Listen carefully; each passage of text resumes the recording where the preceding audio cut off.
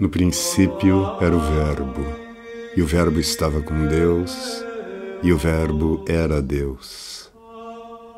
Nele estava a vida, e a vida era a luz dos homens. Boa noite, sejam muito bem-vindos ao podcast O Verbo Luz dos Homens.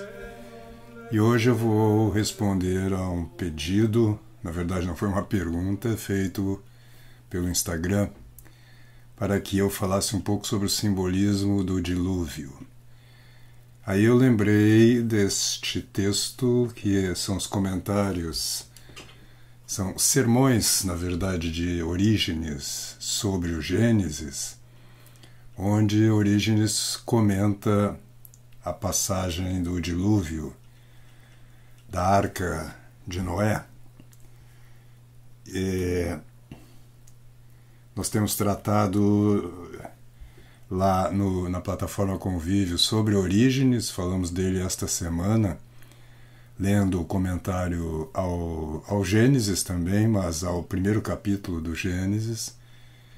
E me pareceu interessante, dentro desse contexto também sobre o qual a gente vem falando, da interpretação simbólica, como os santos padres chamavam geralmente mística, das Escrituras, a gente falar um pouco sobre esta interpretação de Orígenes.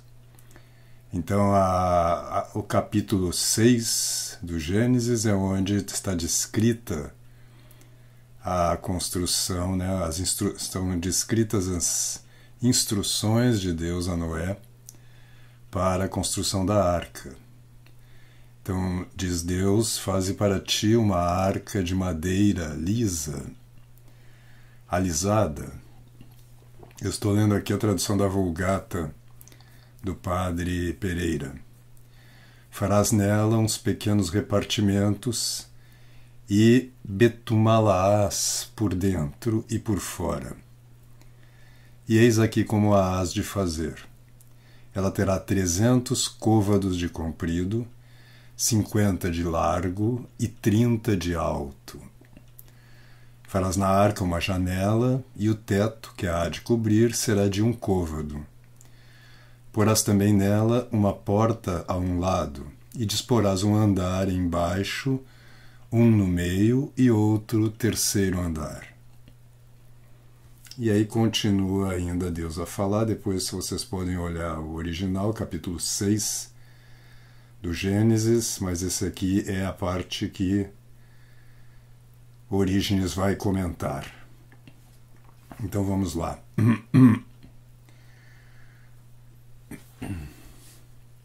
Então ele começa, ele está já no meio do sermão, porque ele falou primeiro da interpretação, ou ele comentou literalmente essa passagem, e aqui ele começa então a chamada explicação espiritual, aqui nesta tradução que eu estou usando. Diz ele. Então, quando ele vai começar, ele já pede a luz de Deus para fazer essa interpretação, né? Então, diz ele: agora é, suplicamos ao único que pode tirar o véu da letra do Antigo Testamento e tentemos indagar também eh, o que contém para a nossa edificação espiritual essa magnífica construção da arca. O dilúvio é uma figura do advento de Cristo, diz ele. Eu penso, é, na medida em que a pequenez do meu entendimento me permite, que aquele dilúvio que então quase pôs fim ao mundo seja uma figura desse fim do mundo que realmente se produzirá.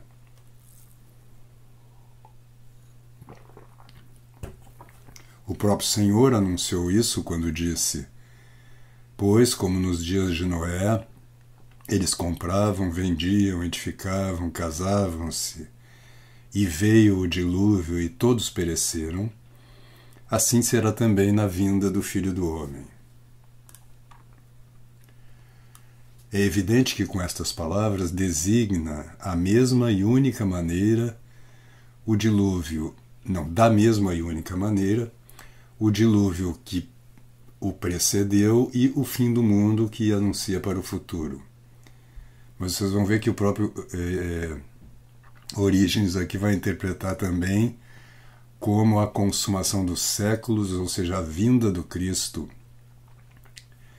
é, em corpo, né? no, no século zero. Como então se disse aquele Noé que fizesse uma arca e introduzisse nela consigo não só seus filhos e parentes, mas também aos animais de toda espécie, também ao nosso Noé, Cristo, que é realmente o único justo, e aqui ele faz uma referência ao versículo 9 do capítulo 6 do Gênesis, onde se diz que Noé era justo. E o único perfeito, nosso Senhor Jesus Cristo, foi-lhe dito pelo Pai que Aí eles traduzem aqui em espanhol ao final dos tempos, mas botam na nota que em latim, e portanto o original que a gente tem desses sermões de Orígenes está em latim, in consumationes seculorum, ou seja, na consumação dos séculos. E essa é uma expressão que também se refere ao tempo inaugurado pela encarnação do Cristo, né? Então foi dito que na consumação dos séculos o nosso Noé, que é realmente o único justo, fizesse para si uma arca de tábuas quadradas e lhe desse medidas cheias de mistérios celestes. Isto, com efeito, está indicado no Salmo ele cita o Salmo 2, versículo 8. Pede-me e eu te darei em herança as nações, em posse os confins da terra. Então, ele constrói Noé a arca e nela faz compartimentos, uma espécie de é, quartos, né? é, para acolher as diferentes espécies de animais. Delas disse também o profeta. Aqui ele vai citar Isaías. Isto é uma característica que eu já observei aqui da interpretação dos santos padres é, e da tradição cristã, porque Origens é, não é considerado bem um santo padre, mas ele é um dos grandes intérpretes e inaugurou de uma certa forma. Ele viveu no século, final do século II, início do século III, né? morreu no início do século III. E por algumas razões lá da vida dele, ele foi um pouco exagerado em alguns momentos. Ele não é considerado um santo padre, mas ele está dentro da tradição dos santos padres sem dúvida nenhuma. Sem dúvida nenhuma. Escreveu De Principiis, né, que é um é, periarchon, em grego. Ele escreveu em grego, mas a gente só tem traduções em latim, a gente não tem o original. Ele escreveu exatamente falando sobre a interpretação simbólica, a última, a última parte do livro é toda sobre a interpretação simbólica. Né? E para que ninguém se escandalize aqui, porque alguns acham que Origem, desculpa, Orígenes era um herege, não era. Ele teve algumas opiniões equivocadas lá. São Tomás cita Orígenes com muita frequência, né? Mas então voltando, ele, o que eu dizia é que os santos padres, eles tinham pelo menos os principais livros da Bíblia, que são muitos, todos na memória. As partes, vamos dizer, as partes principais, especialmente, né, as que se referem mais diretamente ao Cristo e à vida espiritual. Né? Então ele cita aqui é, a profeta Isaías que diz: é, Vai, povo meu, entra em teus compartimentos, em teus quartos, Esconde-te por um instante até que passe o furor da minha ira. Então se compara, portanto, a este povo que obtém a salvação na igreja com todos aqueles homens, animais que se salvaram na arca. Então a, arca, dali, da, a arca de Noé é um símbolo da igreja. Né?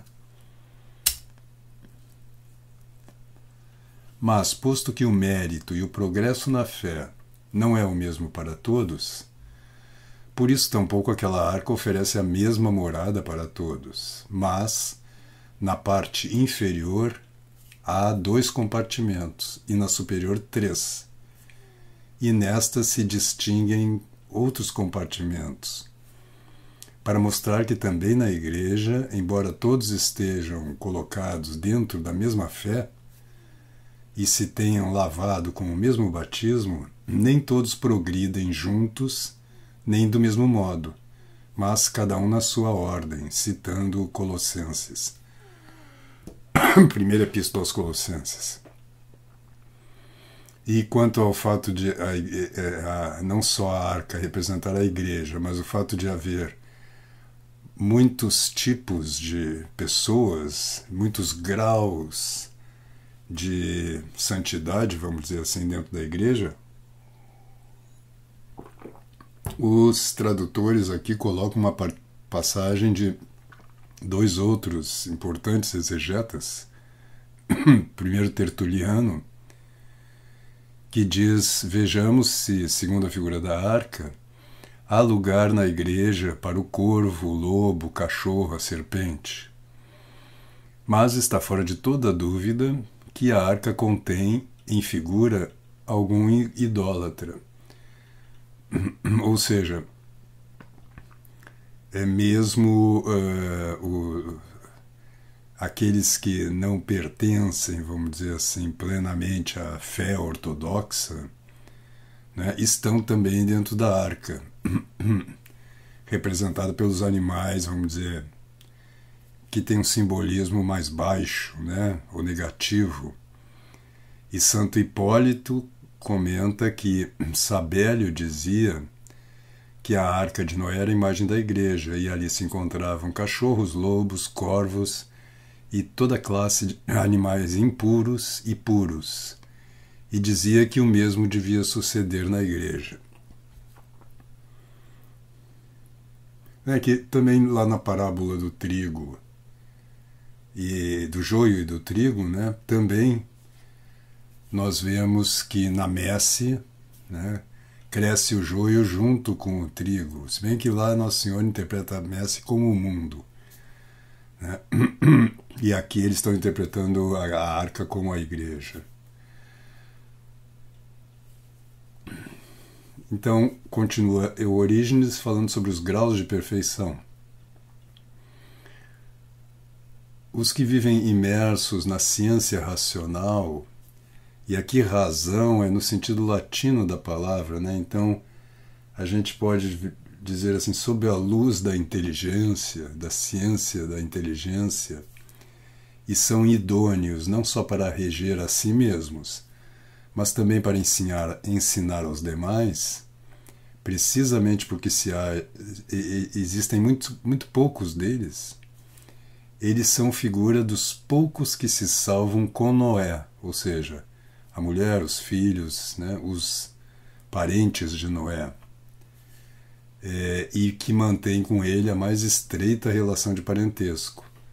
Do mesmo modo que nosso Senhor Jesus Cristo, o verdadeiro Noé, tem poucos íntimos, poucos filhos e parentes que sejam partícipes de Sua palavra e capazes da sua sabedoria.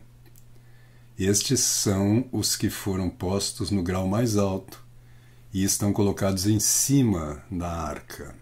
Né? Então, os companheiros de Noé, ou seja, os seres humanos né, que acompanharam Noé na arca, representam os apóstolos, discípulos mais próximos de Cristo e, ao longo dos séculos, os santos e sábios da igreja, né, que têm uma ciência, vamos dizer, espiritual e, portanto, não são só capazes como os homens o são, né? De reger a si mesmos, mesmos mas também de ensinar. A multidão, a multidão dos animais restantes, os animais irracionais, está nos lugares inferiores, sobretudo a daquela a daqueles sobre, sobretudo aqueles que cuja feroz crueldade não foi aplacada sequer pela doçura da fé, né? Então aqui você já tem um nível mais baixo, né, que são os, esses animais irracionais, que são os cristãos que vivem dentro da igreja, mas que a fé ainda não aplacou a ira e os desejos mais primários, vamos dizer assim, né? E um pouco acima destes estão aqueles que, tendo menos racionalidade, conservam, ainda assim, muita simplicidade e inocência. Então ele distingue aqui três graus, né? A gente poderia dizer os santos, é, num grau um pouco mais baixo, aqueles que não têm é, tanta, vamos dizer assim, clareza na inteligência, na fé, mas que tem uma vida mais pura né, e inocente, e depois, ainda abaixo, aqueles que, além de não ter essa clareza, ainda não aplacaram, vamos dizer assim, os seus eh, instintos mais baixos, né? Eh, não domaram ainda os, os seus impulsos de ira, luxúria, etc. Né? Aqueles mais corporais mesmo. Né?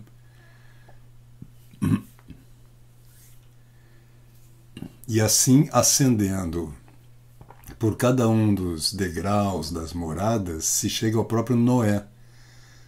Agora ele pega lá em cima de novo, né? Noé acima dos seus companheiros, que significa repouso ou justo é, e que é Jesus Cristo. Pois àquele Noé não convém o que diz Lameque, seu pai. É, este nos dará repouso dos trabalhos. Não convém? Pois aquele, pois aquele Noé não lhe convém o que diz Lameque. É. Este nos dará repouso dos trabalhos e das fadigas de nossas mãos, e da terra que maldisse o Senhor Deus citando aqui Gênesis também, né? 5:29. Como com efeito ter por verdadeiro que aquele Noé tenha dado repouso a Lameque ou ao povo que se encontrava então na terra, ou como eles tenham podido, eh, tenha podido acabar o trabalho e as fadigas no tempo de Noé, ou po, pode ser pode ser suprimida da terra a maldição que havia pronunciado o Senhor, é, porque logo parece que aumenta a ira divina e de Deus diz eu me arrependo de, de ter criado o homem sobre a terra, né? Um pouco antes, aliás, ele faz o dilúvio por isso, né? Ele diz destruirei toda a carne que está sobre a terra. É, e é dada a morte aos viventes como prova máxima da magnitude da ofensa que tiveram, que lhe fizeram, né? Então eu, eu, eu, é, o Origem está se perguntando isto, né? Se Lameque, né, ou melhor, Noé significa repouso ou justo, como é que é, na narrativa, né, ele, ele, se encontra, vamos dizer assim, né, numa situação, na verdade, de caos, né, que, é, e à beira né, do dilúvio. Eles, mas se você, se nós olharmos para nosso Senhor Jesus Cristo, do qual se diz: Eis o Cordeiro de Deus, eis aquele que tira o pecado do mundo, e em outro lugar, feito por nós maldição. São Paulo diz isso, né? Para resgatar-nos da maldição da lei. É, encontra, vocês perceberão que ele é o que realmente deu repouso aos homens e liberou a terra da maldição com que amaldisse o Senhor Deus. Logo, a este Noé espiritual, que deu repouso aos homens e, que, e tirou o pecado do mundo, se diz: Tu farás uma arca com tábuas quadradas. Gênesis 6,14. Eu até vou pegar aqui o Gênesis mesmo, é, porque na tradução da Vulgata não diz que a madeira é quadrada, mas alisada mas na tradução que o, o está usando é essas madeiras são quadradas, ele vai explorar essa característica aí. Mas como já estamos estourando, já estouramos o nosso tempo de hoje, amanhã eu vou gravar agora logo a continuação desse, desse comentário e publico na segunda-feira é, esta continuação, tá bom? Então, fiquem com Deus, que Deus abençoe e até segunda-feira.